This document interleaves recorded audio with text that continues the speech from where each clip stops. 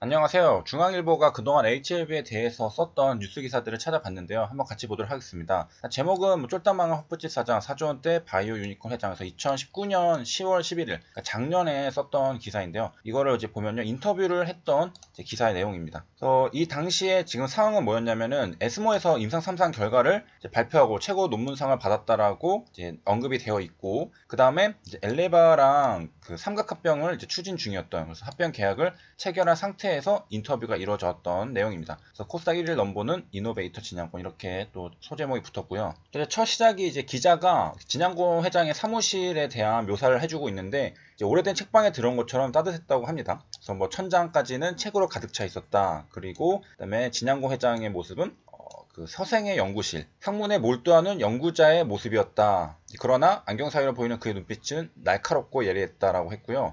뭐 작업 중인 듯 책상을 어지러웠으나 차림새는 단정했다. 목소리는 온화했으나 악수 청하는 그의 말투엔 강단이 있었다. 그래서 뭐 단정한 차림에 날카로운 눈빛 그리고 외유내강, 목소리는 온화했으나 말투에 강단이 있는 그런 모습들을 묘사를 했고요. 그리고 이제 ESMO에서 최우수 논문은 선정됐다라는 내용을 여기 보면 Opdivo랑 Keytruda와 함께 Rivoceranib이 뽑혔다라고 말을 하고 있고요. 그러면은 왜 학회에서 인정을 받았는가라고 물어봤을 때 이제 complete remission이라고 하는 완전관해 사례가 보고됐기 때문에 효과가 입증이 돼서 높은 효능, 낮은 부작용을 보였다는 점이 의미가 크다. 그래서 ESMO에서 선정이 되었다. 그래서 이제 그 말기잖아요. 3차, 4차면 어, 이거 치료는 지속될수록 내성이 길러지는데 1차가 안 먹히면 2차 그러면 이제 3차, 4차로 가는데 Rivoceranib은 1차, 2차에서 내성이 생겼던 환자들을 대상으로 3, 4차에서 높은 평가를 이제 받았다라고 했습니다. 그래서 말기에서 입증이 된 상태고 그 다음에 이제 작년인데 일본 판권을 일본 제약사에 넘길 license out 그래서 보통 매출 12%인데 우리는 이보다 훨씬 많은 로열티로 논의 중이다라고 했습니다. 그 이유는 이제 그만큼 신약에 대한 자신이 있기 때문이다라고 했고요. 어떤 작용 기전을 가졌냐? 혈액 공급을 막는 다라고. 중국에서는 이미 이제 쓰이고 있지 않는가라고 했을 때 HIV는 중국의 모든 국가에서 판권을 가지고 있다. 지금은 이제 그 본계약을 어, 진행을 해서 물질 특허 자체를 이제 가져오려고 하고 있죠. 작용기전 설명할 때도 쉬운 말로 바꿔서 말했다. 책을 많이 읽어가지고 어, 요게 일반인들이 이해하기 어려운 것을 쉽게 뭐 전쟁 보급전을 예를 들어서 성을 직접 공격하는 게 아니라 리버세라닙은 수로를 차단하고 보급로를 끊어서 적군을 무너뜨린다는 식으로 설명을 했다고 합니다. 그 다음에 이제 임상에 대해서도 유리한 부분은 이제 헝루이 제약의 결과를 보고서 임상 대상을 선정하기 때문에 다른 신약 개발사에 비해 유리하다라고 했고요. 그다음에 이제 간 1차 치료제로도 인선 상상 연구 중이다라고. 그래서 이제 여기서 이제 기자가 물어본 것은 HIV 건데 왜 헝리제약을 판매하고 있느냐 그랬을 때는 우리는 이제 알고 있듯이 폴체인이 물질 특허를 가지고 있어서 이 판권을 헝리제약 그리고 엘리바로 가져왔는데 지금 HIV는 이 아예 물질 특허 자체를 가져왔죠. 그 다음에 그 이어서는 이제 진여장 개인의 이생 스토리도 얘기를 해주고 있네요. 그리고 이제 은행원으로 이제 사회 첫 발을 내딛었다라고 했고요. 이제 기획 관련 업무를 했다고 합니다.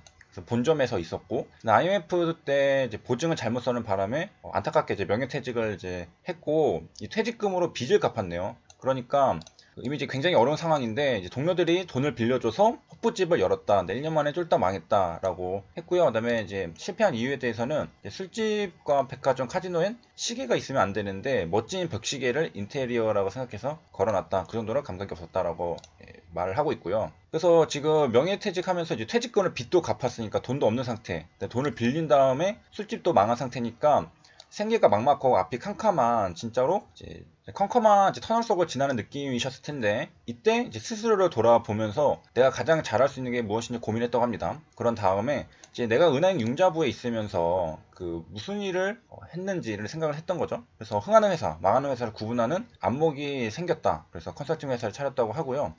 처음에는 이제 조그만 그 20여 명의 기계부품 회사 경영 컨설팅을 맡았다고 하고요. 그래서 이 기업의 체제를 바꾸는데 성공했다. 그래서 입소문이 나면서 사업이 커졌다고 하네요. 그래서 시작이 좋은 거 보니까 이제 자신이 잘하는 일을 찾은 거죠. 그래서 앞으로 이제 그 M&A 쪽으로 이제 일을 하게 되잖아요. 그래서 M&A 쪽으로 자질이 있는 게 아니었을까. 그러니까 이제 흥하는 회사랑 망하는 이제 회사를 구분할 수 있으니까 어렵지만, 그러니까 회사가 어려워졌지만 망하지 않을 기업. 그런 기업들을 골라서 다시 살려놓으면은 굉장히 크게 성장을 하게 되잖아요. 이제 선박회사에서 바이오 유니콘으로 그래서 이제 계속 이렇게 몇 년 동안 이제 일을 했던 겁니다. 휴일도 없이. 그러니까 맨날 이제 컨설팅을 해주다 보니까 이게 이제 잘했나 보죠. 그래서 굳이 내가 컨설팅 해줄 게 아니라 직접 경영을 하는 게 어떤가라고 생각을 했던 겁니다. 워낙에 잘하니까 자기 자신에 대한 자신감도 생기고 그래가지고 이제 구명정 제조회사의 현대 라이프보트를 찾은 거죠. 그래서 M&A를 통해 가지고 하이셀과 이노 GDN이라는 회사를 사들였습니다. 직접 발로 이제 뛰어들게 된 거죠. 그리고 이때 이노 GDN이 투자한 회사가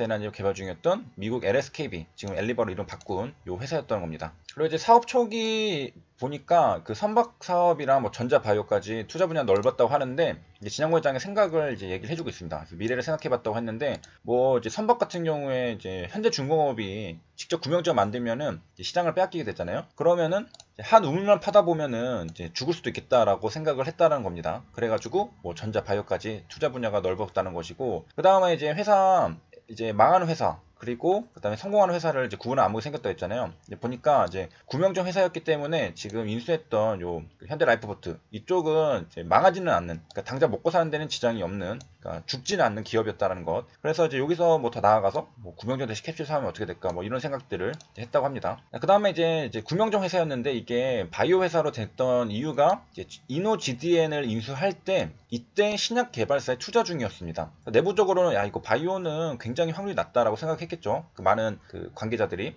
그래서 내부적으로는 투자 중단하자 했는데 진양호 회장은 이왕 이렇게 된 거 직접 만나보겠다라고 했습니다. 그래서 미국으로 가서 그 연구자들 만났다고 했는데 이 당시만 해도 진양구 회장은 은행에서 그 은행 업무를 했었지 융자 업무 같은 거 바이오 지식은 전혀 없었죠. 근데 설명을 들어도 그러니까 이해가 하기 어려웠는데 예, 만나 보니까 확신이 들었다고 합니다. 이 사람들은 믿을만 하구나라는 직관적 느낌이 왔다라고 했고요. 결과적으로 지금은 굉장히 그 잘 됐죠. HIB가 시가총액 뭐 4조 5조까지 올라갔으니까. 그리고 이와 관련된 내용은 이제 예전 그 한 진양구 회장 인터뷰들을 보면은 일을 그 하는 것은 사람이 하는 거다라고 했고 일을 망치는 것도 사람이 하는 거다라고 해서 굉장히 사람에 대한 투자, 사람에 대한 그 믿고 맡기는 그런 가치관을 가지고 있는 것도 우리가 알 수가 있겠습니다. 그래서 이 당시에도 이미 그 사람을 보고서 투자를 한 느낌이죠. 그 바이오 지식 설명 들어도 이해가 어려웠는데 사람을 보고 믿은 거니까요.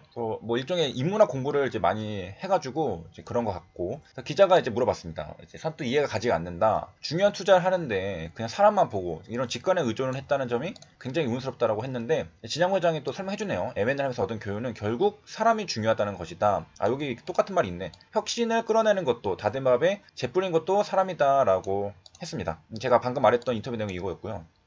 사실 뭐 두 가지를 본다고 하는데 하나는 도덕성 그리고 둘째는 열정 그래서 순수한 마음으로 어려운 시기를 버티고 자신의 모든 것을 걸고 일하는 모습 이럴 정도면 이제 실패해도 후회는 없겠다는 생각을 들어서 바이오 쪽으로 했다고 합니다. 경영의 철학을 접목한 CEO라고 했고 그래서 책장을 이제 기자가 다시 봤나 봅니다. 얘기를 듣다 보니까 어, 이 사람은 어떤 책들을 읽었길래 저런 가치관을 가지고 있을까 해서 책들 보니까 뭐 서양 철학과 고전, 주역 뭐 이런 철학 책들이 굉장히 많았다라고 합니다. 독서가 도움이 되냐 하니까 지장 과장은 뭐 당연하다. 뭐 분야를 가리지 않고 여러 책을 본다.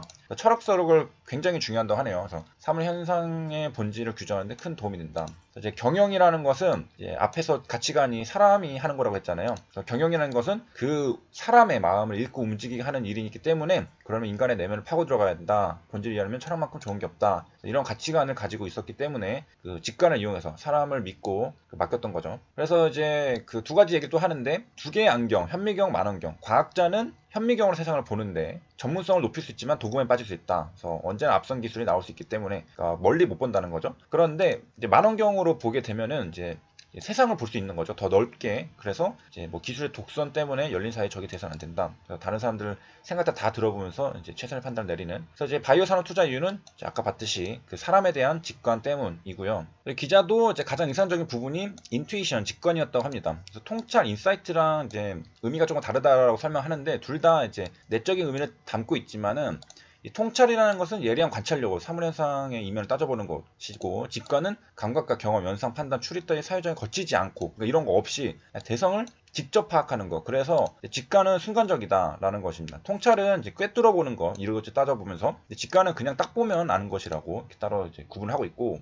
통찰은 정보, 지식을 분석하고 날카롭게 살펴봄으로써 뭐 논리, 추론, 사유과정을 거쳐야 나오는 건데 이제 이 직관은 이런 거 없이 그냥 딱 보면 안다. 그래서 AI 없는 직관의 힘. 그래서 이제 기자가 이제 마지막으로 이제 진양구 회장에 대해서 평을 하면은 직관이 탁월한 인물이다. 그리고 스스로도 이를 인정한다라고 했고 디테일은 약하지만 전체를 보는 능력이 뛰어나다라고 이제 진양구 회장 스스로 이렇게 평가를 했다고 합니다. 그런데 알고 보면은 디테일에도 강한 인물이다라고 그 평을 하고 있고요. 그래서 이제 과거 기사 하나를 이제 찾아봤습니다. 중앙일보에 대해서 이제 HL에 대해서 쓴 기사를 살펴봤습니다.